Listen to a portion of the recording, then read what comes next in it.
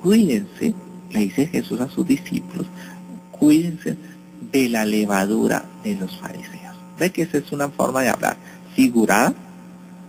¿Y cuál es la levadura de los fariseos? ¿De qué se tienen que cuidar? No está diciendo Jesús que los fariseos son malos.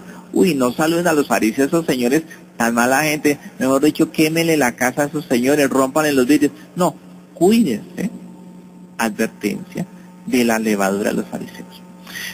Porque la levadura de los fariseos es la hipocresía. hemos confundido la frase. Pensamos y fácilmente decimos, uy, cuídense de los fariseos que son unos hipócritas. No, está hablando Jesús de algo más interesante. Jesús no está descalificando a las personas. Sería muy, muy triste que Jesús dijera, ese señor que viene ahí no lo saluden, la persona que viene allá, ayúdenle, la persona que está en este sitio no le colabore. Sería descalificado. Jesús advierte de los peligros que podemos tener. ¿Sabes de qué nos advierte el Señor? ¿Por qué no discípulos? Pues somos todos nosotros, nosotros somos hoy la comunidad discipular. Cuídense de la levadura de los fariseos, que es la hipocresía. ¿Qué hay que cuidar? Entonces entendamos qué quiso decir Jesús por hipocresía. Porque si nosotros hoy dijéramos hipocresía, más de uno nos sentimos ofendidos, afectados, maltratados, hasta decimos, no, yo me voy de aquí porque me están ofendiendo. Yo no vine a que me ofendiera, sino yo vine a que me ayudara. ¿Qué es hipocresía? Preguntémosle a Jesús.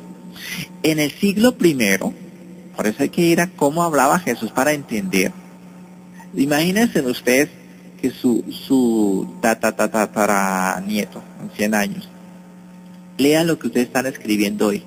Y escribieran hoy, se me cae la cara la vergüenza. ¿Se puede imaginar ese chinito que va a entender? Oye, mi abuela, ¿qué le pasó? ¿Cómo así que se cae la cara? La cara nunca se puede caer. Son lenguajes figurados, ¿ven? Pues si uno lo vuelve exacto, se le hace un imposible yo nunca he visto eso. Allá en el siglo XXI, ¿verdad que la gente del siglo XXI así era rara? Hasta la cara se le caía. No, es una manera de decir, he pasado una gran vergüenza. Pasé por una situación que, mejor dicho, me dio una profunda vergüenza. Es el ejemplo, es la comparación. Entonces, Señor Jesús, ¿qué es para ti la hipocresía? ¿Qué significa la hipocresía? Y entonces Jesús, en el lenguaje Jesús, en el siglo I, la palabra quería decir dos cosas. Primero quiso decir, pues, eh, lo que son muchas personas. Y muchas personas son que les gusta contestar y contestar y contestar, es preguntones. ¿Ven? Ustedes saben que en una reunión, ¿no les ha tocado ir a una reunión? Hay gente que se especializa en preguntar uno está saludando, buenos días, Pari, ¿cómo se llama usted? Bueno, déjeme que saludo, bueno, yo me llamo, Pari, ¿usted dónde viene? Bueno, se vuelve, no avanza uno porque hay la gente que como que tiene el don de la pregunta. Y pregunta a veces cosas muy interesantes, a veces pregunta cosas extrañas, inesperadas. Eso, si yo le dijera, uy, ese señor tan hipócrita, ese señor seguramente que me pone una demanda. Y estoy diciendo, ese señor como pregunta, ¿ven? Es decir, le hice un elogio y ese se sintió ofendido. Pues, qué rico. Y a veces uno dice, oye, no hay una pregunta, nadie quiere preguntar. Y todos quedamos como en un silencio y lo que estamos diciendo es, y nadie quiere participar. Entonces, como que falta esa persona. Pero si yo digo, uy, no, aquí no hay una hipócrita, no, mejor dicho, seguramente hasta ahí llega la reunión. Entonces, inicialmente la palabra hipocresía quería decir el que pregunta mucho, el preguntón, ¿eh? y ustedes que han sido y los que son profesores y docentes, saben, en, los salones siempre tenemos el preguntón, ¿cierto? Están los dos y los tres preguntones. Entonces, pero usted no le puede decir eso, no es que yo tengo tres niños hipócritas allá, pilísimos, pero unos hipócritas pilísimos. Uy, no. Para ese papá y regaña y hace, hace sacar a esa profesora al colegio. Hipócrita significa el que mucho pregunta. La primera cosa. Porque porque los fariseos, vea que tiene que ver, tiene una relación, porque los fariseos que son maestros enseñaban a través de preguntas, enseñaban a través de una metodología que era preguntar. Entonces, el maestro no solo colocaba una enseñanza, sino que hacía que su público, sus alumnos, sus estudiantes, eh, sus discípulos, eh, se cuestionaran. Entonces les preguntaba y les hacía preguntas y siempre eran preguntas de orden religioso. Yo les preguntaba, Ustedes saben qué significan los mandamientos de la ley de Dios, por ejemplo. Ustedes conocen cuál es el principal mandamiento. Entonces, era pregunta y pregunta para que el discípulo pues aprendiera pensando y respondiendo y si no sabían, el maestro les iba dando las pautas.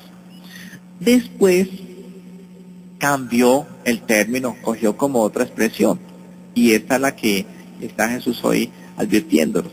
Cogió la expresión del teatro. Entonces, hipócrita es, y también diríamos hoy, y seguramente que la gente se nos sentiría ofendida, si fuéramos a una obra de teatro y dijéramos, uy, vimos 10 hipócritas felices allá. Es decir, 10 buenos actores, ¿ves? Eso significa hipócrita, hipocresía es el que representa un papel. Y uno espera que el actor haga bien su papel. Que si va a actuar de médico, pues que se sepa los términos médicos. Que si va a hablar de abogado, pues que se sepa los términos jurídicos. ¿ves? Y no que el, el abogado, pues no se sepa el lenguaje y simplemente yo soy un abogado y los abogados somos así. No, uno quiere que se sepa. Y dice, uy, tan bueno ese actor, ¿eh? ¿Y usted dónde estudió Derecho? No, yo nunca estudié Derecho. Yo me aprendí el parlamento que me pidieron que dijera. ese es el buen actor. Entonces, el actor es el que representa el papel.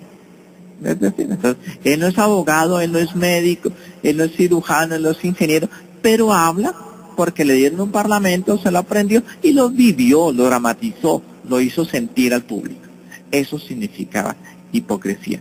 El que representa un papel.